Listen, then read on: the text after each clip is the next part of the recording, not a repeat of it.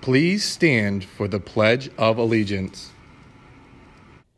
I pledge allegiance to the flag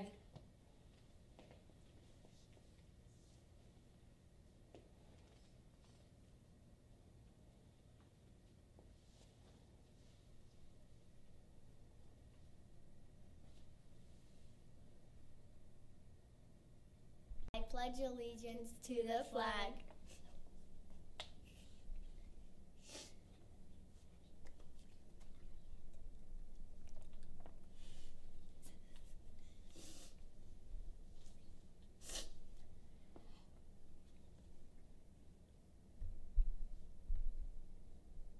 morning, Dormont Elementary School. My name is Avalee. With me is Alana, and this is WDES News. Today's Monday, February 4th, and it is day two in our rotation. Sounds like it's going to be another extraordinary day at Dormont Elementary School, Alana.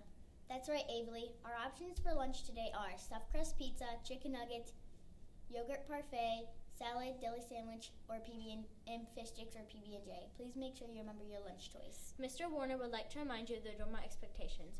We are safe, we are responsible, we are respectful, we are kind, and we are here. He would also like to remind you of the bullying, bullying prevention agreements. We will not bully others. We will try to we will try to help others who are bullied. We will try to include students who are left out, and if we know that someone is being bullied, we'll tell an adult at school and an adult. We'd like to send a very special happy birthday wish to Delaney in fifth grade, Michael in fourth, third grade, Landon in first grade, Shane in fourth grade, Lily in third grade, and Ethan in fifth grade. There are no upcoming events. Just a friendly reminder for the teachers, please be sure to, your attendance and lunch account are completed. The quote of the, the quote of the day is a "Love a little more each day." Well, that's all for today. Thank you for tuning into WDS News, and remember, Make it a great day, or not. The choice is yours.